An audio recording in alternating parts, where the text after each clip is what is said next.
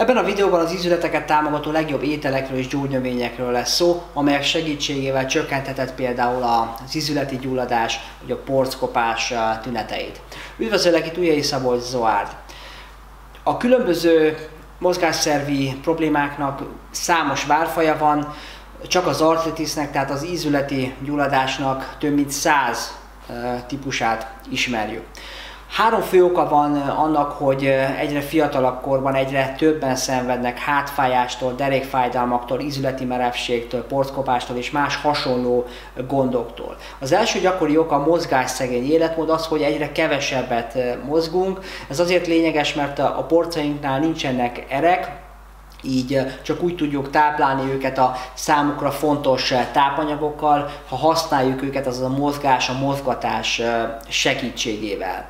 A második probléma, ami az egyre több port és ízületi gondot okozza, azok a modern ételekben lévő károsító összetevők, melyek ugye rengeteg gyulladást okoznak a test különböző részein, így az ízületeknél is. Az ezzel összefüggésben kialakuló bélfalkárosodások is növelik az ízület és porc problémák kialakulásának esélyeit. Ilyen például ugye az áteresztő bélszindróma, amelyről készítettem korábban egy videót, keres rá a keresőben. Tehát rendkívül fontos a gyulladás növelő ételeket visszaszorítani vagy elhagyni a táplálkozásunkból. Az ízületekre és a porcokra leginkább veszélyes, a leggyakoribb gyulladásnövelők a glutén, a finomított szénhidrátok, a transzsírsavak, az alkohol, a sokszorosan feldolgozott tömegtermelésből származó húskészítmények és a túlzott omega-6 bevitel is. És a harmadik oka gyakori ízület és porc problémáknak az az ugyancsak gyulladáskot okozó kortizol, illetve inzulinhormonnak a magas szintje. Ugye a kortizol a stressz hatására termelődik a, a szervezetünkben, tehát minden régebb óta vagy kitéve a rendszeres napi szintű stressznek, annál nagyobb az esélye, hogy kialakuljon nálad porc, illetve ízületi probléma. Nézzük most meg az öt legfontosabb étel, illetve gyógynövénycsoportot, ami fontos a terápiá részévé tenni, ha javítani akarunk az állapotunkon. Az első és legfontosabb a glükozamin, melynek legjobb természetes forrása a zöldkagyló. Fontos különbség van a mesterséges glükozamin készítmények és a zöldkagylóban lévő glükozamin között. A mesterséges glükozamin készítmények többsége glükozamin szulfátot tartalmaz, melynek lebontása az azonban nagyon sok embernek a szervezetében hiányzik az enzim. Azaz a mesterséges glükozamin sokaknál nem tud felszívódni, mert nincs meg hozzá az lebontó enzim az emésztőrendszerben. Ezzel szemben a zöldkagyló glukozamin glikánt tartalmaz, illetve ezen kívül a glukozaminak további négy másik természetes kötésű formáját, amiből viszont a legtöbb embernek az emésztőrendszere ki tudja nyerni a e, glukozamint. A glükozamin kivonatot tartalmazó zöld kagylót kapszula formában tudod bevinni, a legegyszerűbben és célszerű étkezés közben fogyasztani, illetve naponta többször is több adagban, hogy ugye folyamatos legyen a glükozamin pótlás. A zöld kagyló az elkopott ízületi porcok visszaépítését tudja segíteni. A legtöbb esetben már három hét után hozza az eredményeket, de egy két-három hónapig célszerű folyamatosan szedni első alkalommal, majd később kuraszerűen egy-egy hónapig minden évszakban. A második csoportban a gyulladás csökkentő növények tartoznak, melyek segítenek az ízületeknél jelentkező gyulladások visszaszorításában. Szinte mindegyik mozgásszervi probléma gyulladással jár, ezért rendkívül fontos, hogy minél több olyan ételt és készítményt vigyünk be rendszeresen, ugye, amelyek támogatják a szervezetünket a gyulladásokkal szembeni küzdelemben. Jó ízületi gyulladás csökkentő ételek a halételek, a hagymafélék, a zöldszínű zöldségek és a bogyós gyümölcsök, tehát ezekből napi rendszerességgel célszerű fogyasztani. A legjobb ízületi gyulladás csökkentő gyógynövények az ördögcsákja, a kurkuma és a boszfélia szerátának a kivonatai.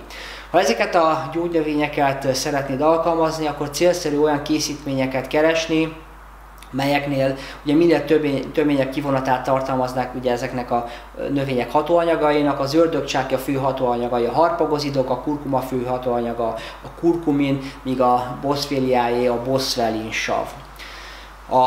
Harmadik fontos lépés a gyógyulás felé vezető úton az az omega-3 bevitelének megemelése a táplálkozásunkban. Az omega-3 az egyik eh, legjobb eh, gyulladáscsökkentő és fájdalomcsillapító vegyület is eh, egyben. Fontos, hogy napi rendszerességgel pótoljuk az omega-3 zsírsavakat, halételekkel, dióval, csiamaggal, lenmagolajjal. Sokat, segítenek a, sokat segít a halolaj és a krillolaj tartalmú étrendkiegészítő is, vagy például a csukamájolaj. Artritis esetén egyébként célszerű a halolajat és a krillolajat is szedni, mert együtt fogyasztva jobban kifejtik a hatásaikat, és nyugodtan lehet akár napi 2000 mg-ot bevinni együttesen belőlük. A zsírsavaknál fontos megemlíteni a húsleveslét is, melyet több korábbi videómban is említettem már. A húsleveslé is nagyon jó gyulladáscsökkentő, illetve van benne sok kollagén is, ami ugyancsak ugye fontos tápanyaga a porcoknak és az ízületeknek, illetve tartalmaz kevés glükozamint is, mert ugye a csontokból fő ki a lassú főzés során. Készíts húsleves csontosabb és bőrösebb húsokból, kb. 1-1,5 kilóból, adj hozzájuk zöldségeket, főzd fel jól, majd utána főzd egy 12-14 órán át lassú lángon, majd szűrd le és tartsd hidegen. Naponta így áll belőle többször egy-egy pohárral. Negyediknek a magas enzim tartalmú ételekről fontos eh, többet fogyasztani. Egyes enzimek számos mechanizmuson keresztül szabályozni tudják a gyulladásos eh, folyamatokat. Egyre több kutatás van, amely igazolja, hogy a bromelain, papain, pankreatin, tripszin és mások szabályozólag hatnak a gyulladásos eh, folyamatokra. Ízületi és sports problémák esetén tehát érdemes megemelni a táplálkozásban az olyan ételeket és zöldségeket is, mint eh, például a kivi, papaja, ananász, füge, gyömbér, illetve ott van még ugye a savanyú eh, káposzta is. Fontos, hogy ezeket a zöldségeket és eh, gyümölcsöket nyersen együk, mert a hő hatása ugye a legtöbb enzim elpusztul. Illetve ezeket az enzimeket be tudod egyébként vinni kapszulázott étrendkiegészítő formában is. Úgy keresd a keresőben, hogy proteolitikus enzim. Az ötödik és egyben utolsó ételcsoport ízület és sportgondok esetén azok az antioxidánsok, a magas polifenol tartalmú ételek és étrendkiegészítők, a polifenolok, az antioxidánsok, a flavonoid vegyületek segítenek csökkenteni a gyulladásokat okozó szabadgyökök számát, így ezen keresztül csökkentik a további rosszabbodásnak ugye az esélyeit, illetve támogatják az ízületeket és a porcokat abban, hogy hatékonyabban tudjanak regenerálódni. Először is ott van ugye a zöld tea, amit naponta lehet inni, akár többször is. A zöld teában lévő EGCG csökkenti azon molekulák termelődését, melyek az ízületeknél a károkat okozzák, tehát például reuma esetén nagyon jó a zöld tea. Aztán Másodiknak ott vannak ugye a bogyós gyümölcsök, melyeket önmagukban, turmixokban, koncentrátumokban vagy gyümölcslé formában is be tudsz vinni, fekete áfonya, málna, szeder, mangosztán, ribizli, gojibogyó, fekete berkenye, tőzegáfonya, a bogyós gyümölcsök tele vannak antioxidánsokkal.